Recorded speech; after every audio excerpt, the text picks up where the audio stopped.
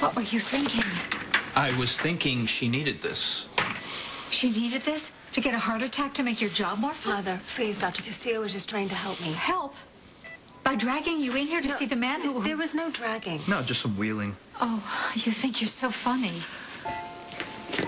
Why are you all in here? You know something? That is a very good question. Why, doctor? What kind of a doctor brings his patient in here to have a face-to-face with the man who killed her husband? The kind who thinks that she's killing herself because she can't get David out of her head and she can't figure out why.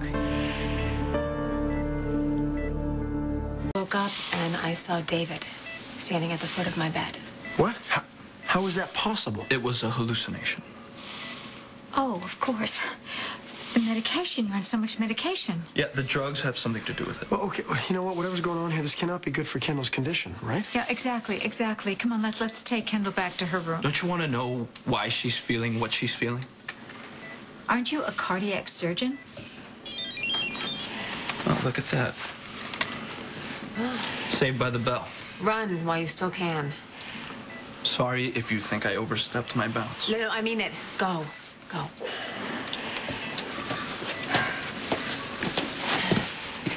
Dr. Castillo was right to bring me here. I have been thinking about David a lot, and I have no idea why. But every time I close my eyes, he's in my head, and I can't stop thinking about him. And it's not good. Okay, so you're having dreams about him or nightmares or what? Yes, of course you're having nightmares about him. You're thinking about him. He just killed your husband. And of course, that's the whole reason why you're here in the first place. And and I, I, I still think that Dr. Castillo continues to over-medicate you. I'm going to speak to him about that. I'm sure he'll be thrilled. You know, I don't care if he's thrilled. This is not something to joke about. I don't think it's funny. Well, what do we have here? Perfect. Well, Lucky David. Look, surrounded by all the people who love him. You two here to finish him off? Dare you just barge in here with your accusations, Liza? My daughter's heart is very fragile right now. Oh, so what was that? A little friendly little visit with David? Tell me, Kendall, do you still blame him for Zach's death? Okay. Unless you want to be brought up on charges of harassing my daughter, counselor, you leave now. I'm David's advocate. I decide who stays and who goes. And I say, all of you, go. Tell you what I'm going to do. I'm going to take Kendall back to her room. Oh, that's a great idea. But but nothing to upset Kendall, right? You understand, Ryan? Because the idea is to keep Kendall's blood pressure down. Mom, aren't you coming with us? Uh, actually, I need a word with Liza. Okay. Fantastic. It's gonna be one of those days, huh? Liza, my daughter just lost her husband. On top of having a very serious heart condition. This would not be the time for you to come and add any more stress for her. Okay, thank you for the memo. It's not a memo. It's a warning, Liza. One more mention of Zach or David. Or the fact that Kendall tried to kill him. She did no such thing. Really? So what was she doing? Was she just trying to fluff his pillow? Suffocation never crossed her mind. Oh, are you a mind reader now? Well, counselor, I think you need to brush up on the law. Because you can't bring somebody to trial just because you believe that they were thinking about murder. God, what must be like What must what be like? to be you? Right? Be Erica Kane. The object of everybody's faithful attention. Wow, jealousy looks so pathetic on you. Yeah, that's not jealousy. Oh, yes, it certainly is. And it's desperation. Hmm. Because why else would you be coming at me like a bat out of hell when you know very well you don't have a case? Please. That's it? That's the best you can do? Please? What would you like me to say? That you want what I have? Success. Both professional and personal. Because let's face it, Liza, you are a failure at both. Uh, okay, Ryan, honestly, I think you should go back and check on my mom. She seemed pretty pissed off. Let's just say it's a good thing we're in a hospital for Liza's sake. How you doing? I'm better. I got to say some things to David that I needed to say. I don't know if he heard me, he wasn't even awake, but it felt good. I'm glad to hear that. Is there anything that I can do? Yeah, actually, you can go home. Seriously, seriously, I mean, I- I'm sure you have better things to do than to babysit me. Besides, I'm tired. I need to get some rest. You sure? Yes, I'm sure. Thank you for coming, though. You call me if you need anything, okay? Or if you just want to talk. Okay? Close your eyes. I will. So I know you're sleeping.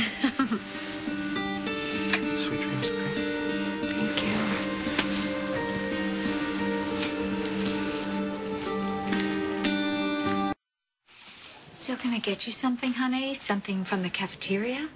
God, Mom, I hate it here. I really hate it. I just want to get out of here. Oh, I don't blame you, honey, after what Dr. Castillo put you through. No, I, he, he was just trying to help. Uh, spilling my guts was, was supposed to make me feel better, and it did, a little. Well, when when you say that you couldn't get David out, out of your head, you're talking about the nightmares, right? Or was there something more? It mostly happens at night. That's that's when I see him when I'm sleeping. But this time, I swear, Mom, I was awake, and he was standing there staring at me, and it was like he was pointing at me. Well, you know, honey, you are on so much medication, and, and I'm sure that, you know, maybe you just thought that you were awake. Okay, so what does this mean now that, that I'm now I'm hallucinating? I mean, it's like I'm remembering something.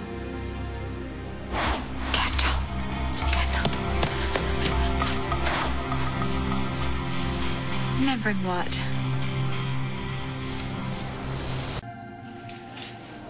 I keep remembering what I did to David. What, what I almost did. Sometimes I, I can't believe that it was me standing there holding that pillow. Oh, honey. I just want you to put that out of your mind.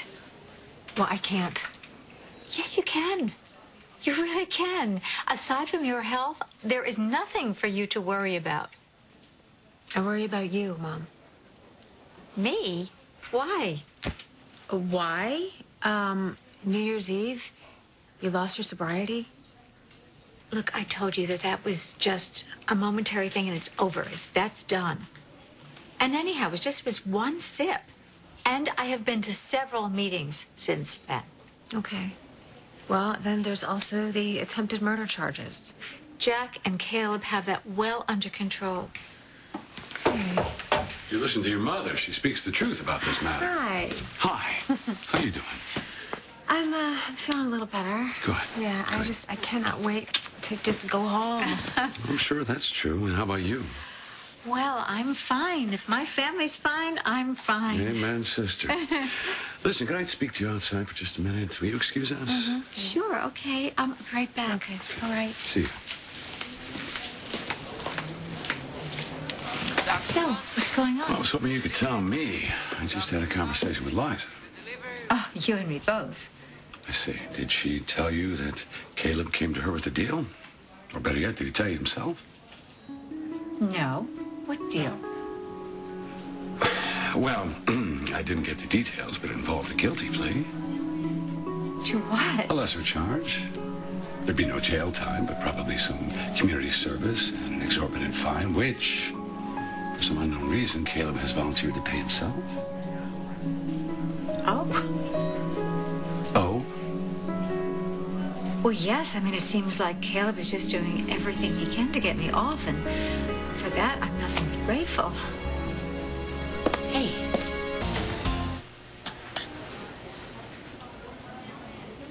I think your mother likes me. She's a little overprotective. A little. For whatever it's worth, I'm glad you took me to see David.